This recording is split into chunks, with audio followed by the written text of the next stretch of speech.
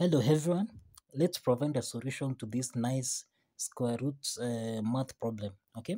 So which is 7 square root of 70 cubed plus 80 cubed plus 90 cubed.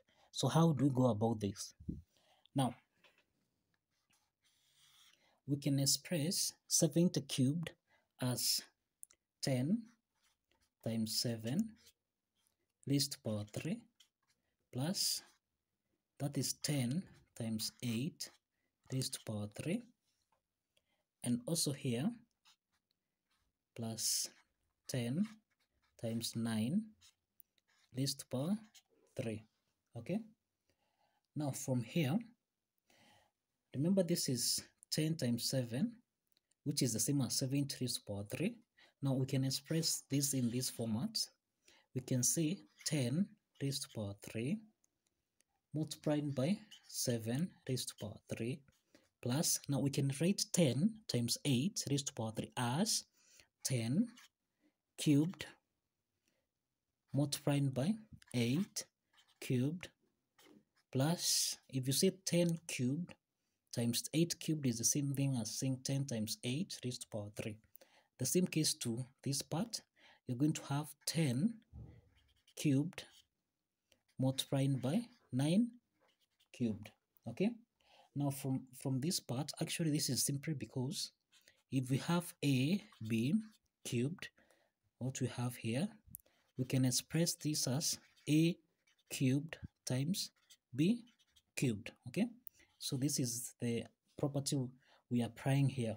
So that now from our case here you're going to realize that 10 cubed is common for the three part so that we factor out 10 cubed and we're going to have 7 cubed plus 8 cubed plus 9 cubed okay?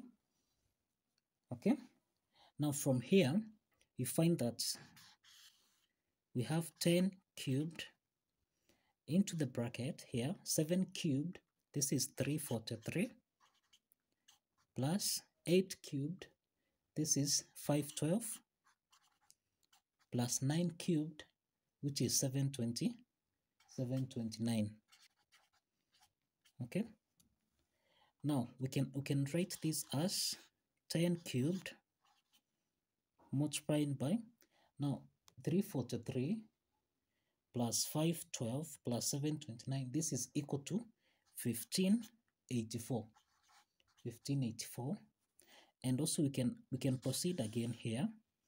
We'll have 10 cubed multiplied by 1584 1584 can be expressed as 16 times 9 times 11 okay?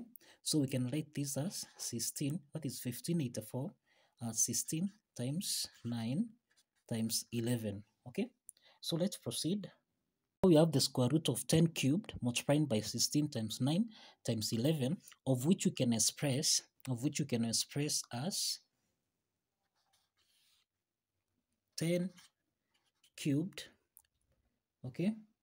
Multiplied by 16 can be expressed as 2 raised to power 4 times 9 we are saying 16 can be expressed as 2 raised to power 4 and 9 can be expressed as 3 squared so times 3 squared times 11 okay? Now from here we can also express 10 cubed.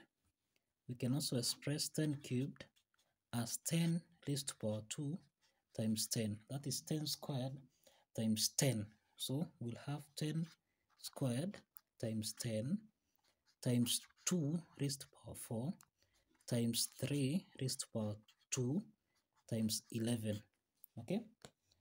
Now if you get the square roots of 10 raised to power 2 this is equal to 10 okay? Multiplied by square root of 10 times 2 raised to power 2 you get the square root of this is 2 raised to power 4 if you get the square root of this this is 2 raised to power 2 okay?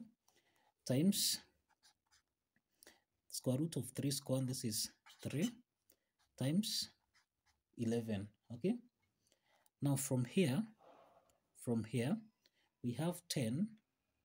You can see we have 10 times 2 squared. This is 2 squared is 4. 4 times 3 is 12. Okay. Now 12, we are saying that we have 10 times square root of 10 times, this is 12 times 11. This is the square root of 11, sorry. Square root of 11. Okay. Now we have 12 times 10. This is equal to 120. Okay. Then we have square root of 10. That is square root of 10 times square root of 11. Okay. Now that means that if you have a raised to power 1 times b raised to power 1, this can be expressed as a, a b. So in our case here, we're going to have 120